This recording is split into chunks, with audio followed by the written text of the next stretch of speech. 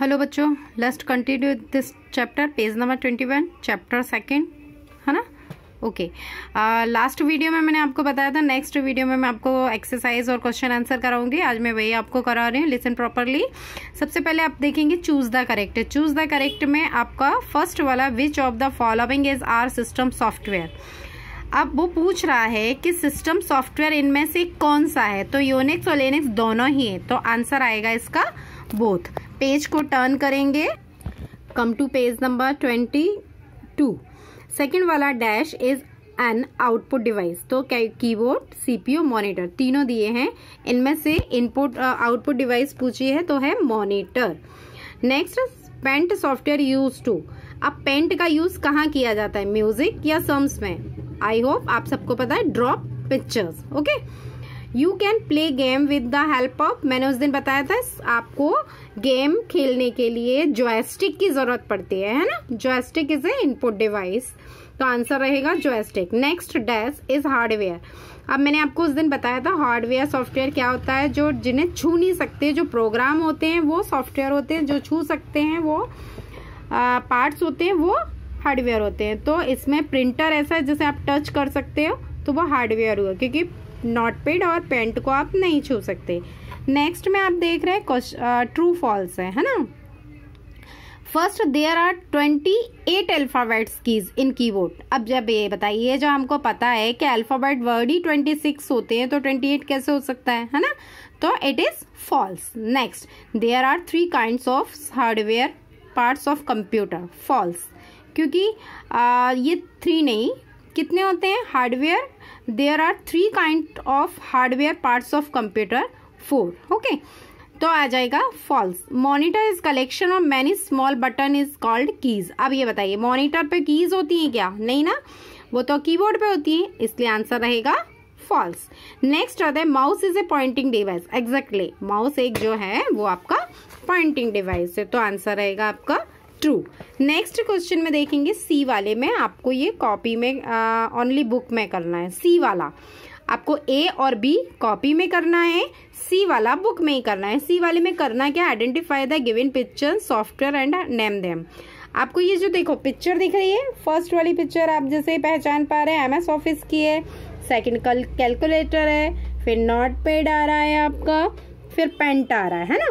तो आपको ये पहचान कर इनके जो नीचे लाइनिंग दी हुई है, जहाँ पर वन टू थ्री फोर लिखा है ये लाइनिंग इस पर इस पर आपको उन चीज़ों का नाम लिखना है। जैसे यहाँ पर एम एस ऑफ़िस आ जाएगा, यहाँ कैलकुलेटर आ जाएगा, यहाँ नोट पेड आ जाएगा और यहाँ पर पेंटिंग आ जाएगी, ठीक है? ऐसे, ये ओनली बुक में ही करना है। अब क्वेश्चन नंबर डी पर आते हैं। ये डी वाला जो है, आपको कॉपी में करना है। Match the following match following में सबसे पहले आप देखेंगे कैलकुलेटर uh, कैलकुलेटर क्या है? एप्लीकेशन सॉफ्टवेयर होता है। क्या होता है? एप्लीकेशन सॉफ्टवेयर जो आपको डाउनलोड करना पड़ता है। है ना? अब जैसे आप आप नया ये डाउनलोड इनविल्ट भी होता है। वैसे तो कैलकुलेटर हमेशा इनविल्ट रहता है क्योंकि एप्लीकेशन सॉफ्टवेयर है इसीलिए। माउस जो क्या है? मैंने आपको बताया माउस क्या है? इनपुट या इनपुट डिवाइस है। ठीक है? फिर आता है माइक्रोसॉफ्ट विंडो मैंने आपको बताया था सॉफ्टवेयर होता है तो ये आ जाएगा सिस्टम सॉफ्टवेयर नेक्स्ट है मॉनिटर मॉनिटर आपको मैंने बताया, छू सकते हैं, है ना? और उससे प्रिंट निकलता है। आउट होता है। पेपर आउट करते हैं ना उससे पेपर को प्रिंट देते हैं तो आउट होता है, वो बाहर आता है, यानी आउटपुट तो monitor is a output device यानी कि कॉलम बी का सीरियल है। Three one four two okay ये आपको कॉपी में करना है। अब हम चलते हैं पेज नंबर ट्वेंटी थ्री की तरफ़। ट्वेंटी थ्री पे सबसे ऊपर आप देख रहे हैं क्वेश्चन आंसर लिखे हुए है ना? ई e वाले क्वेश्चन में। आपको, मैं एक बार सारे क्वेश्चन के आंसर पढ़ के बताऊँगी। आपको ये अपनी सी डब्ल्यू कॉपी में लिखना है है ना? ये कॉपी वर्क है। लिसन प्रॉपरली ये कॉपी वर्क है। इसको आपको सी डब्ल्यू कॉपी में चैप्टर चैप्टर का नाम डेट, ये सब डाल के आपको लिखना है। उसके बाद लास्ट में आपको एक एक्टिविटी दूँगी, जो मैं बताऊँगी लास्ट में क्या है उसमें। अब first question what do you mean by hardware hardware क्या होता है? सबसे पहला क्वेश्चन क्या पूछा गया? हार्डवेयर क्या होता है? मैंने आपको बताया था हार्डवेयर है ना? Hardware is a physical part of computer computer का वो पार्ट जो छू सकते हैं, यानी कि physical part and we can touch or see उसे आप देख सकते हैं और टच कर सकते हैं. Like monitor CPU mouse it is a hardware part of computer next question है what are the output device example sorry explain any two output device को बताइए वो क्या होता है और कोई दो डिवाइस को एक्सप्लेन भी कीजिए, ऐसा बोला गया है. तो सबसे पहले हम ये देखेंगे आउटपुट डिवाइस होती क्या है है ना? Output device display the process from the data to the end user है ना? इसका मतलब ये हुआ आउटपुट डिवाइस वो होती है जो इनपुट डाटा देने के बाद प्रोसेसिंग होने डाटा देने के बाद प्रोसेस होती है और प्रोसेस होने के बाद जो चीज़ डिस्प्ले होती है आफ्टर प्रोसेसिंग जो डिस्प्ले हो रही है it is called output device है ना? अब जैसे मॉनिटर आपने कीबोर्ड से टाइप किया मॉनिटर में गया प्रोसेसिंग हुई और सॉरी सीपीयू में गया प्रोसेसिंग हुई, तुरंत मॉनिटर पे आ गया। आपको तो ऐसा लगता है ऐसे आप कर रहे हो, तुरंत आ रहे नहीं, उसके पहले वो प्रोसेसिंग के लिए सीपीयू में जाता है बट आपको उसका टाइम पता नहीं चलता, वो सडनली हो जाता है है ना? तो मॉनिटर पे दिखा, यानी डिस्प्ले हो रहा है इन्हें वो आउटपुट डिवाइस हो गया, प्रिंटर। प्रिंटर पे आप किसी भी पेज का प्रिंट देते हो तो प्रिंट बाहर आता है ना, आउट होता है, यानी कि आउटपुट डिवाइस हो गया। अब उन्होंने नेक्स्ट इसी क्वेश्चन में पूछा एक्सप्लेन एनी टू दो नाम को, दो डिवाइस को, इसके आउटपुट की डिवाइस को एनी टू को आपको एक्सप्लेन भी करना है। तो अपन यहाँ पर स्पीकर और मॉनिटर कर देते हैं। पहले मैं पढ़ूँगी मॉनिटर मॉनिटर क्या? टीवी जैसा दिखता है तो monitor look like a television the output that show on the monitor is called soft copy monitor से जो सॉरी मॉनिटर पे जो कॉपी निकलती है और कंप्यूटर के अंदर रहती है, उसे सॉफ्ट कॉपी बोलते हैं। ध्यान से सुनना। जो आपने कंप्यूटर के अंदर फ़ाइल रखी है है ना? उसे सॉफ्ट कॉपी बोलते हैं, जो आप कॉपी पेस्ट करके या किसी को फॉरवर्ड कर देते हैं, है ना? मेल कर देते हैं। व्हाट्सअप कर देते हैं, वो सॉफ्ट कॉपी होती है क्यों क्योंकि वो सिस्टम के अंदर है और मॉनिटर टीवी की तरह दिखने वाला आउटपुट डिवाइस है। और स्पीकर और जो कंप्यूटर से प्रिंट निकाल लिया आपने प्रिंट आउट आ गया, वो हार्ड कॉपी कहलाती है, ठीक है? और नेक्स्ट अब speaker speaker is also output device ये भी स्पीकर भी आउटपुट डिवाइस है. क्यों? क्योंकि इससे आवाज़ बाहर आती है. आउट होती है यानी कि output device it is use to listen sound from the computer इससे आप क्या कर सकते हैं इसकी हेल्प से? कंप्यूटर से जो म्यूज़िक निकलता है आवाज़ जो निकलती है उसे आप, आप सुन सकते हैं है ना? It use to listen sound from the computer इसके साउंड इसकी हेल्प से आप कंप्यूटर के साउंड को सुन सकते हैं। ओके नेक्स्ट क्वेश्चन आता है आपका। What is software so important ऐसा क्या है जो सॉफ्टवेयर को इतना इम्पोर्टेंट बताया है? वैसे तो कंप्यूटर का हर पार्ट इम्पोर्टेंट है। सॉफ्टवेयर हार्डवेयर मैंने बताया था meet made for each other software के बिना हार्डवेयर अधूरा है हार्डवेयर के बिना सॉफ्टवेयर अधूरा है। दोनों एक दूसरे के लिए बने। जब तक दोनों एक साथ वर्क नहीं करते तो आपका काम किसी भी लास्ट स्टेज पर नहीं पहुँच पाएगा। अब सॉफ्टवेयर वाई इम्पोर्टेंट वो बताएँगे। Software is an important parts of computer it क्यों? It included the computer program and data क्यों? क्योंकि द प्रोवाइड द इंस्ट्रक्शन वो कंप्यूटर को इंस्ट्रक्शन प्रोवाइड करता है। है ना? For telling computer hardware what to do how to do वो कंप्यूटर को बताता है कि आपको क्या करना है, कैसे करना है। आपको डाटा इन प्रोग्राम जो होता है वो प्रोवाइड करता है इंस्ट्रक्शन देता है और आपको बताता है कि हार्डवेयर आपको बताता है कि what to do how to do यानी कि कैसे करना है और क्या करना है। आपको ऑर्डर देता है है ना? तो software it is software software होता क्या है? Set of program software is a set of program. वो प्रोग्रामों का सेट होता है। क्लियर? नेक्स्ट क्वेश्चन की ओर चलते हैं हम। नेक्स्ट क्वेश्चन है व्हाट इज़ सिस्टम सॉफ्टवेयर क्या होता है system software system software is a collection of program है ना? सिस्टम सॉफ्टवेयर क्या होता है? सॉफ्टवेयर होता क्या है? प्रोग्राम का कलेक्शन करना, इकट्ठा करना। प्रोग्राम को इकट्ठा करना या उनका कलेक्शन करना प्रोग्राम का it is called system software and operating system is a part of system software वो भी सिस्टम सॉफ्टवेयर का एक पार्ट है। नेक्स्ट क्वेश्चन की ओर जाते हैं। इसका हम एक ही लिखेंगे दो दो मैंने दिए हैं। What is the different between input और आउटपुट डिवाइस के बीच में?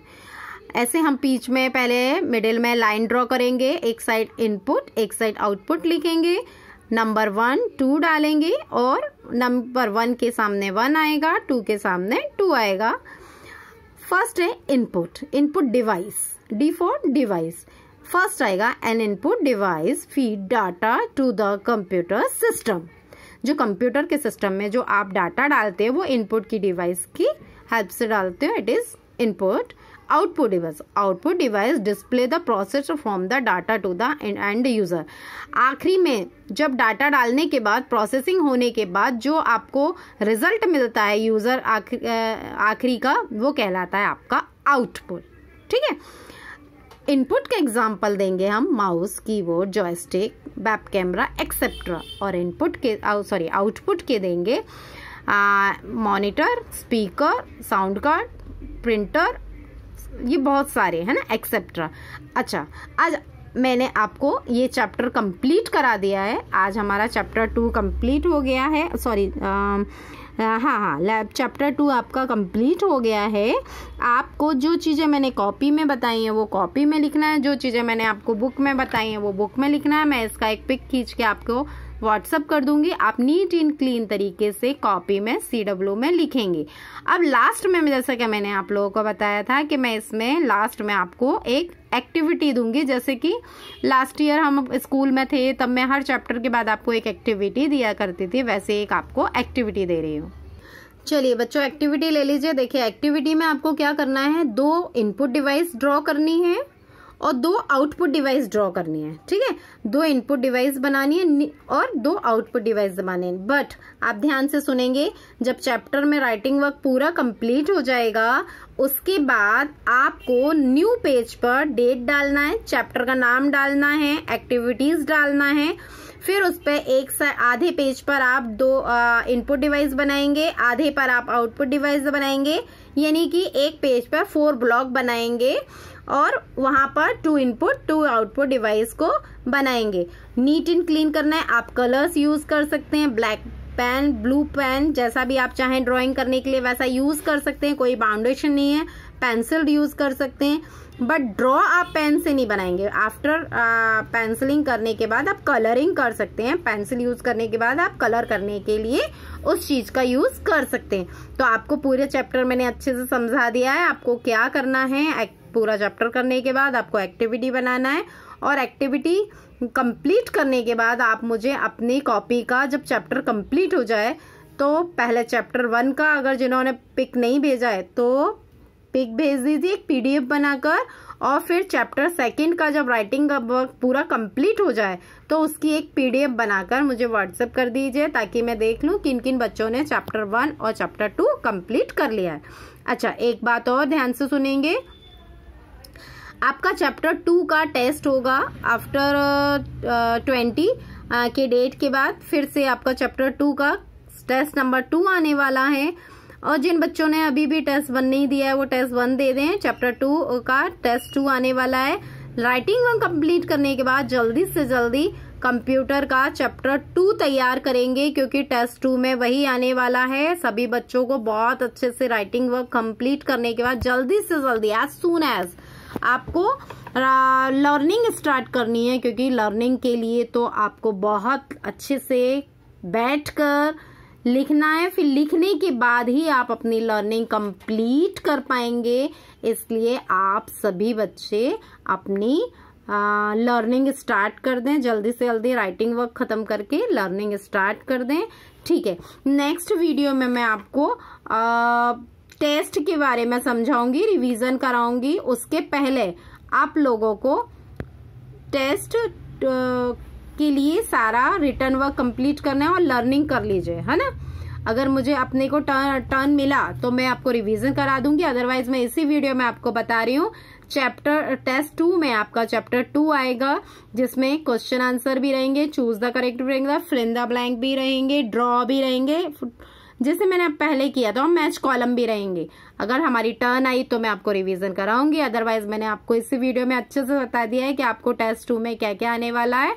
ओके ऑल द बेस्ट और अच्छे से काम करना। आज के लिए यही खत्म कर रही हूँ मैं। Okay good day